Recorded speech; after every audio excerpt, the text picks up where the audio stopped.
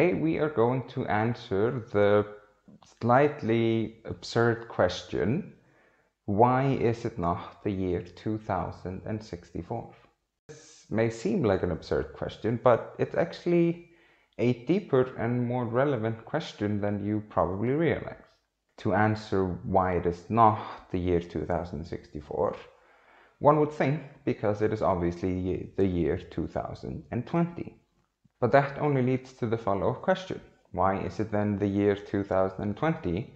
And why is it so obvious? Now, if you'll allow me, before we talk more about years, I want to take a few moments and talk about the concept of time and more specifically how we keep track of time. In an upcoming series, I will talk in more detail about the incredibly long and rich history of timekeeping the point of this series will be to examine humanity's understanding of time and how it has transformed from uh, people in caves staring up at the moon at night until Einstein's theory of relativity changed the way we see time forever. But that is a story for another day. Today we are going to be relatively practical and examine how people use time and the fundamental importance that timekeeping has on the way societies all around the world function.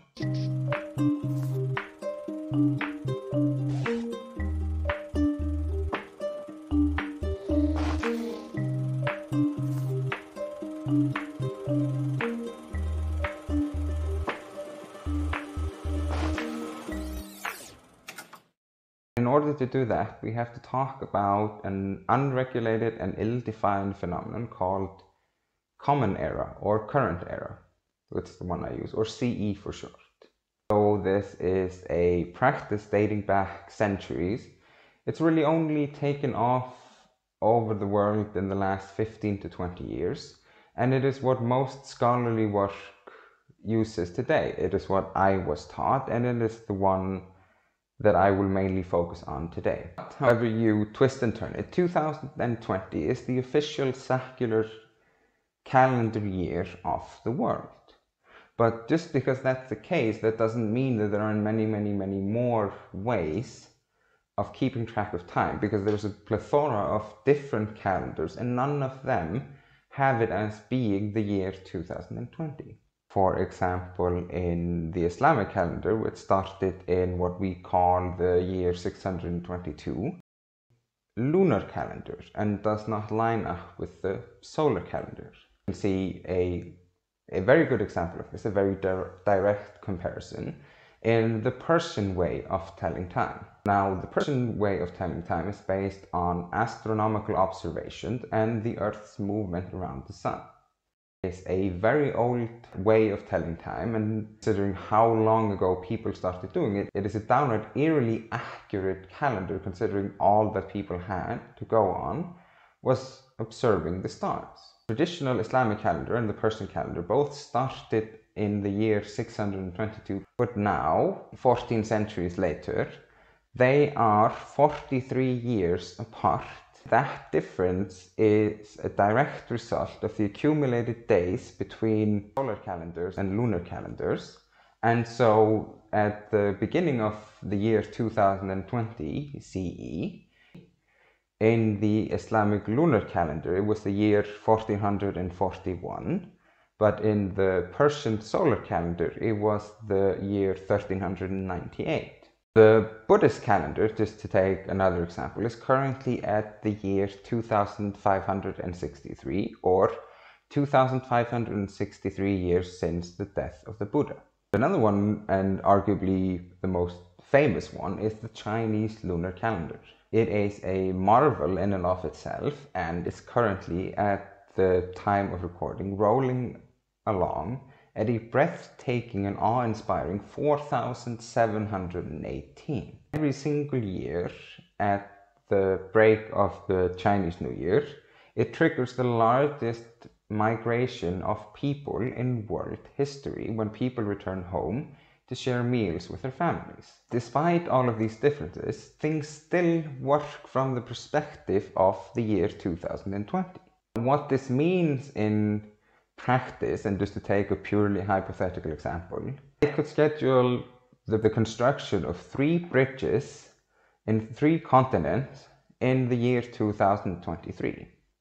Now, after all involved parties, um, well, they wouldn't shake hands because, you know, in COVID times, people don't shake hands anymore. But all parties sign on the dotted line and don't shake hands and go home. Now, because of this universal time agreement that we all live with, thankfully, I wouldn't find myself in a situation where one of the parties that I agreed to build a bridge with would show up in 24 months, another would show up in six centuries, and the third party would be suing me because even though I just agreed to it now, I'm somehow magically more than five centuries overdue and they want their money back. Instead, what would just happen is that people would show up and do the construction they all committed to do. Why is that? Why is this universal agreement of it being the secular year 2020? So we return to the original question. Why is it not the year 2064 if this is a secular calendar? I grew up in and have only lived with the Christianized Gregorian calendar. So I am making this video in the year 2020 AD. AD is short, is Latin and is short for Anno Domini, which technically means in the year of the Lord. The reason that I learned this, and you almost certainly did as well, as meaning the year of our Lord, is because AD, Anno Domini, is technically another abbreviation of a full phrase which was really common for example in in the medieval era which is anno domini nostri jesu christi or in the year of our lord jesus christ. Because everyone knew what it meant and because they didn't feel like saying anno domini nostri jesu christi every single time anyone made a reference to a year, and thus was born the saying in the year of our Lord, even though it still should be and technically means in the year of their Lord. And let's be honest, saying the year 2020 AD NJC this seems a bit silly, you know, because it doesn't make any sense to have an abbreviation that is one letter longer than the number of years in question. So why do we use this system? Why do we say in the year of our Lord? The reason for that is that in the 6th century in the East Roman Empire, a monk named Dionysius, called, uh, commonly known to history as Dionysius the Humble, he devised a system based on the old Roman system, which I will get into later in more detail, to account for the fact that theological understanding that said that the uh, second coming of Jesus and the subsequent end of days were already more than a quarter of a century overdue. Now, this led some people to believe that the apocalypse was just around the corner any day now. Some people suspected that the timing was off. So in order to settle this, Dionysius devised a system splitting all of existence into the time from, so since the creation of the world, uh, right up until the birth of Christ. And he said that 5,500 years had happened from, from God's creation until the birth of Jesus Christ. And then he split the world, uh, the world and the timeline of the entire universe into this uh, dualistic system before Christ and after Christ, which is what we still use today. So Dionysius argued that instead of it being the year of the consulship of Flavius Probus, the Roman consul for the year, was instead the year 525 of our Lord Jesus Christ. Now, we who use the so-called Gregorian calendar or variations thereof have 365 days per year with an added day every four years called a leap day and they take place on leap year. To account for the fact that the solar year, which is what a year actually is, is at the time of recording, because this changes over the centuries, 365.24219 days, or roughly estimated, every year is 365 days, 5 hours, 48 minutes, and 45 seconds. So now that we have established what a solar year is, the next obvious questions are what is a Gregorian calendar? Why is it a special kind of calendar? And also, what is a calendar? Gregorian calendar refers to the current way of tracking time. It is named after Pope Gregorius XIII and it marks the transition which ended the so-called Julian calendar, which is how we used to keep track of time before it. And the Gregorian calendar uh, took place at midnight on October 4th in the year of our Lord 1582 and exactly one second later it had become October 15th in the year of our Lord 1582. Those missing days needed to be removed from the calendar to account for the missing minutes of every year over the last over the previous 16 centuries due to the Julian calendar rounding up the numbers in the year 45 BCE. This was as you would expect, met with almost universal ruthless opposition from people who had paid a full month's rent but still lost a third of their month, while not, whilst also not being paid for the missing week and a half because they didn't show up for work in those 10 non-existent days. Funnily enough, the exact same thing happened 434 years later in 2016 CE when Saudi Arabia changed from the Islamic calendar, which it had had since its inception, to the Gregorian calendar, and they used this as a way to cut the pay of its civil servants by 11 days, thus aligning the public and private sector up and saving a ton of money. It seems that even across time and religion, history has a tendency to repeat itself. The Gregorian calendar uh, began on October 15th in the year 1582 and the Catholic countries, unsurprisingly enough, followed the divine orders of the Catholic Pope in Rome, but the Protestant countries of Europe would hold out for up to five generations before they too eventually adopted the system at the start of the 1700s. At that point, the Catholic countries and the Protestant countries of Europe were by that point 11 days out of sync with each other.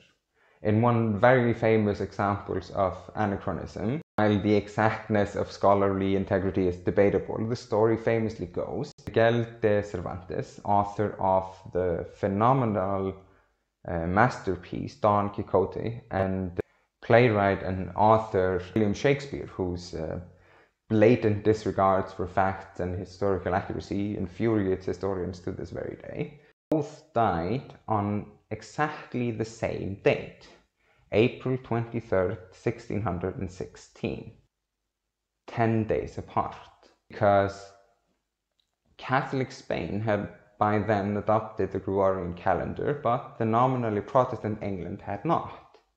And so these uh, famous authors died on exactly the same day, but because of the divide between the Julian and the Gregorian calendar, they actually died more than a week and a half apart, despite their date of death both being April 23rd, 1616.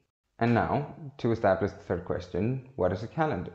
A calendar, in the shortest possible version, is a system to organize periods of time, most typically days, weeks, and months, and then years, for religious or financial or social or administrative purposes so that they can coordinate with other members of the same society who use the same calendar. And this means that a date is paired with a specific day within the system.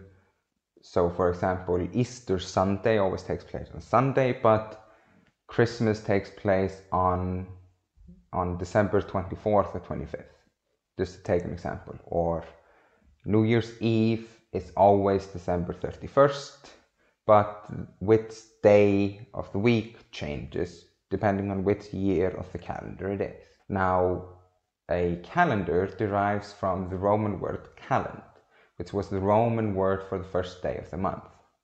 So a calendar was simply and quite literally just a way of keeping track of where and when the first of the month for this year would take place. A calendar, then, being little more than a, the year's collection of calends, as tends to be the case almost exclusively throughout history as soon as people come up with an idea that works, they don't change it, even if it's been thousands and thousands of years. And so, even though no one uses the word calend for the first of the month, we still use the word calendar to keep track of them. Now, have you ever wondered why Easter never takes place on the same Sunday in the same way that Christmas or New Year's Eve or something like that always takes place on the same day? But Easter has to be a Sunday and it's never the same Sunday. Easter follows a lunar calendar and since we have a pre-agreed upon date for Easter for the next years and years and decades, we have to assume that it is someone's job to keep track of this alternative calendar that contradicts the one we use in everyday life.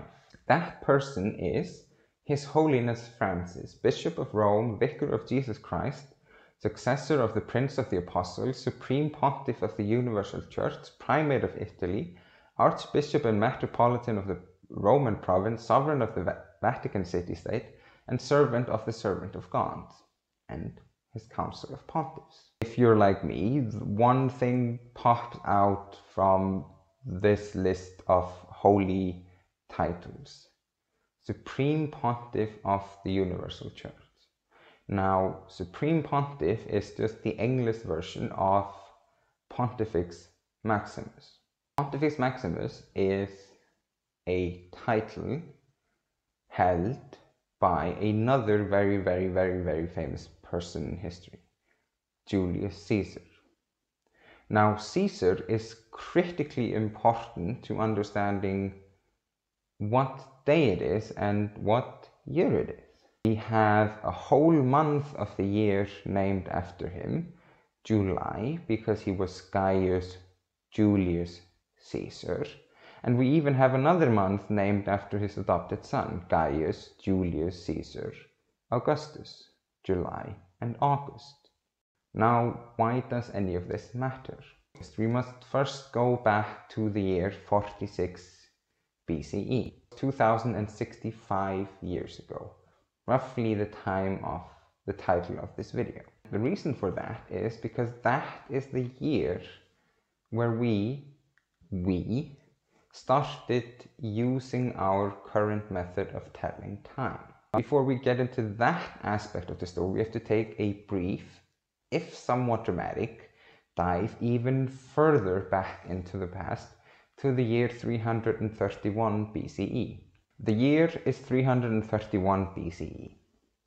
And Alexander the Great, and if you're watching this in the future, click here for my video on Alexander the Great. And if you're watching this on release, stay tuned for that. But as I was saying, Alexander the Great has conquered most of the New World, which included Egypt. Now, Alexander found himself in a predicament. He needed to found a new city to become the new Hellenistic capital of Egypt. What happened next will positively shock you, because King Alexander the Great named his great new Hellenistic capital of Egypt Alexandria, after himself. What an amazing idea! And it was such a good idea that he went to found another 69 cities and named them all after himself. You might be asking yourself, why does any of that matter? I thought we were talking about Caesar and the calendar. Why are we talking about Alexander the Great? We still are, because what happened next is the really important part.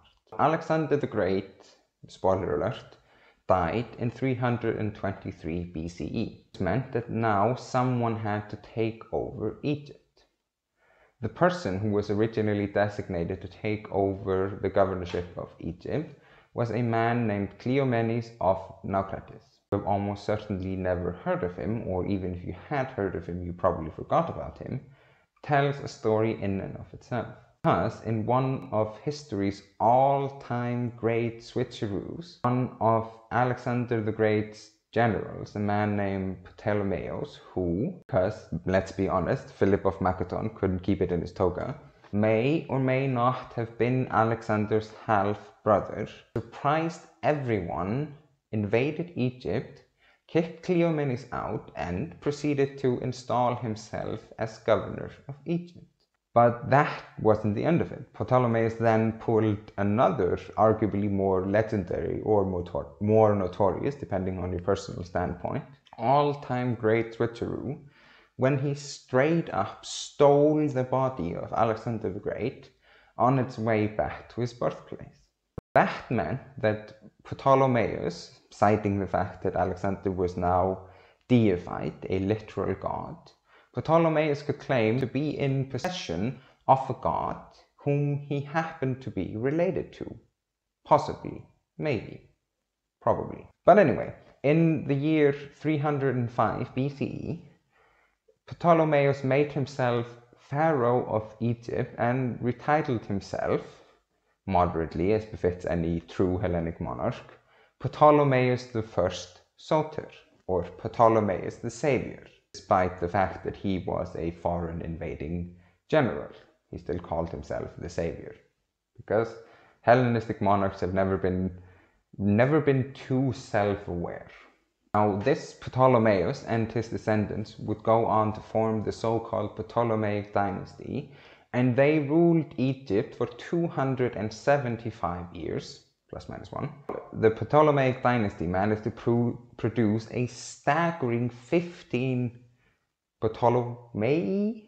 I don't know what the official plural of Ptolemaios is, but before they were finally put down, much to the relief of historiographers everywhere, they also produced a lot of Arsinoes and Berenices, but the ones we're mainly interested in from the Ptolemaic dynasty is the Cleopatras.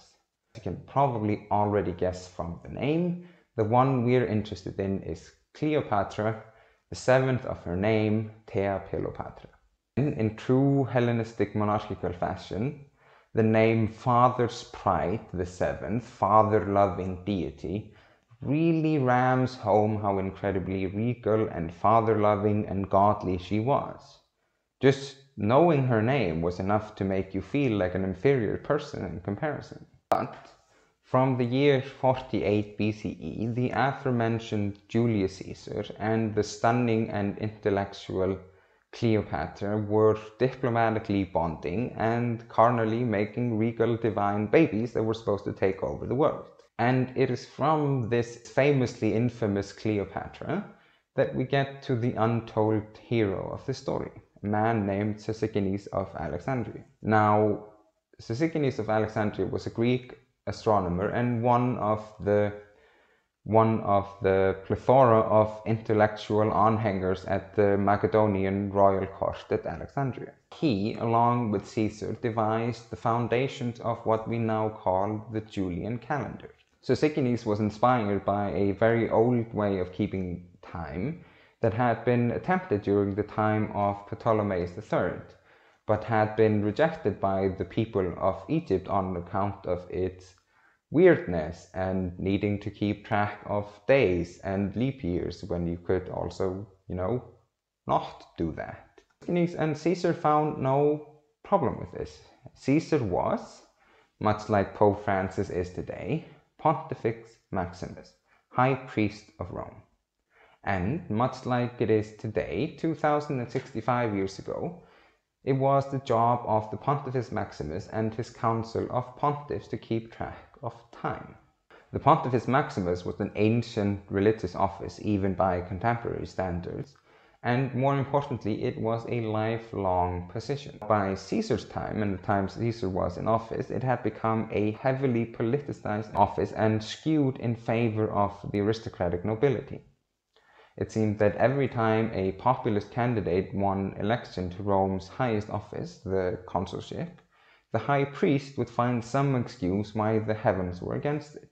This often resulted in their terms being significantly shorter than the previous years. The days and sometimes weeks or even months were taken from their year in office just to magically be found in favor of the gods when a conservative held the consulship. In practice, that meant that depending on who was in office, the calendar could differ wildly between years, and this was a tried and true method of the Roman Republic to simply drag your feet and wait out your opponent and wait out their term of office. And while this was a true passion project of Caesar's and one he saw as leveling the playing field of Roman politics forever, at that point in our story, Caesar himself had been far too busy to justify dedicating enormous time on something as unglamorous and medial as counting days between full moons. And his best intentions, the calendar had drifted months off its axis. This resulted from the fact that Caesar had spent the better part of the previous decade out of the country conquering Gauls north of Italy. He did with a mixture of brilliant and strategic and tactical thinking, clever use of diplomacy, and um, uh, premeditated acts of genocide. But moving on. Caesar now desperately needed to fix the cripplingly dysfunctional Roman calendar and make sure that things didn't spiral out of control again when he would leave the country on military expedition or worse, revert back to the power of conservative politicians after he died. Now, Caesar, guided by the wisdom of our good friend Sosigenes of Alexandria, solved this by simply adding 90 days to the current year, 46 BC, telling everyone, just basically trust me. We did the math, everything makes sense, don't worry about it. Just, I fixed it for the next 2000 years, don't worry about it. If anyone disagreed with him, well, Caesar would just do it anyway because he was the most powerful man in Rome. He held unrivaled political power, and to paraphrase the man himself, because that's why. And Caesar could, in his power as dictator of Rome and high priest of Rome, Pontifex Maximus, unilaterally bring forward, design, and put into motion plans that impacted the lives of every single person living within the emerging Roman Empire. So, in the year 45 BCE, 2064 years ago, the so called Julian calendar and the Julian way of keeping time took off. But they also kind of got it wrong, and due to the minor incident of Caesar being stabbed 23 times by fellow senators in the theater of Pompey the Great, it wasn't until the time of Caesar's adopted son Augustus that the problem was permanently fixed. And so, in the year 45 BCE, was the first year that we, human beings, Western civilization, whatever you want to call it, started using our current way of tracking time. Apart from the Gregorian fixings and, and alterations later, it is still the method of time that we use. So now that we know why it could and or should be the year 2064, let us then examine the reasons that it isn't. We, meaning the ill-defined Western Christian civilization, whatever, hold on to our traditions like a dog with a bone. That's just the way things have always been done, and that's the way they should continue to stay. And in this context, the Christian part of Western civilization is the most important and critical part of the question. Because in the early 4th century AD or CE, depending on who you ask, a very important Roman was proclaimed Caesar in the city of modern day York on the island of Britannia. Caesar was by then not the name of a person, but had evolved and subsequently evolved into an honorific title held by the second most powerful man in the state, with the most powerful man in the state holding the title of Augustus. Now that man was Flavius Valerius Constantinus. We simply know him today as Constantine the Great. This Constantinus was a very peculiar Roman indeed, because rather than being the traditionally pagan, uh, polytheistic Roman, he was an adherent to a strained, secular, growing cult within the empire and a monotheistic religion, which we now refer to as Christianity. Constantine is very important for two reasons. First of all, being that he moved the capital of the Roman Empire to his new city of Constantinople, which is Greek for city of Constantine. See, bit of a pattern emerging. And this move allowed the Roman Empire to live for another 11 centuries. The other hugely significant thing that Constantine did was he normalized Christianity at the top echelon of Roman society. If it was not for that, then our good friend from earlier, Dionysius the Humble, would never have grown up in a Christian Roman Empire. Now, while the changes were not immediate, this brought a huge cultural and political shift within the entire Roman Empire. And anyone who claims with absolute certainty that there's a definitive before and after cutoff point is speaking from unreliable sources about unverifiable dates. In order to explain what a monumental shift this actually was, we have to look at what came before that and what is in today's term the ancient way of telling time. Quickly sum up, only Roman historians, all of which were fancy, rich senators and aristocrats, time things since the founding of the city. As ordinary Romans had until that point, for more than a thousand years, referred to the years in terms of who the two consuls were.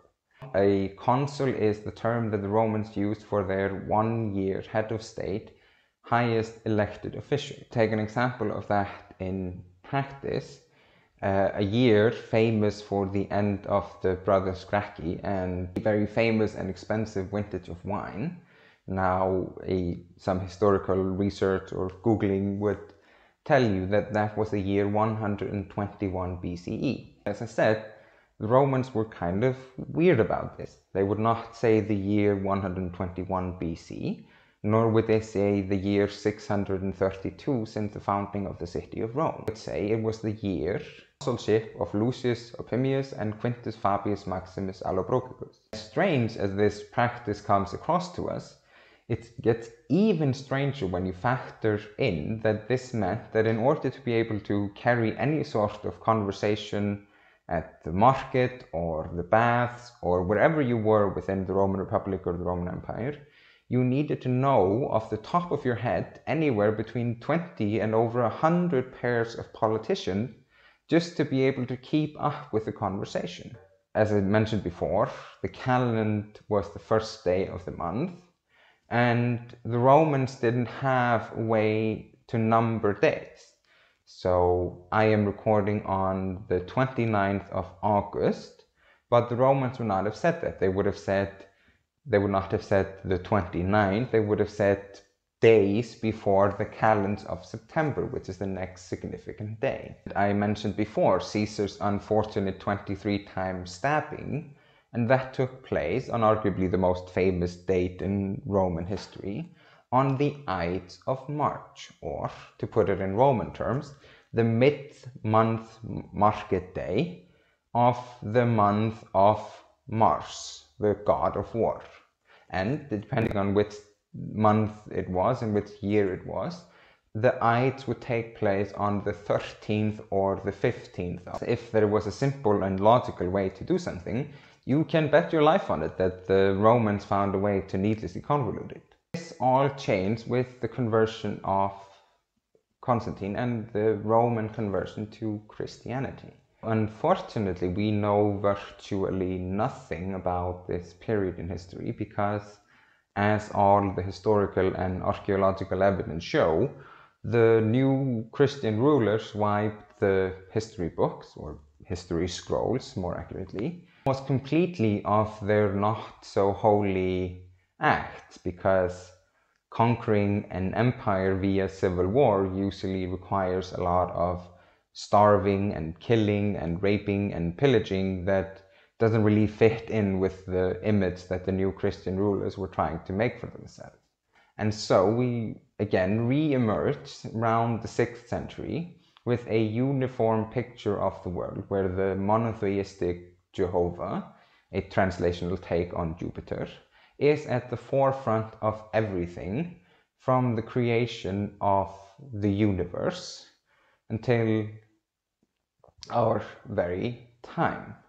And this again was split into before Christ and after Christ by our good friend Dionysius the Humble, the monk from the Black Sea. And that is the reason that that it is not the year 2064, the year which our current way of keeping track started, but the year 2020 in the year of our Lord Jesus Christ.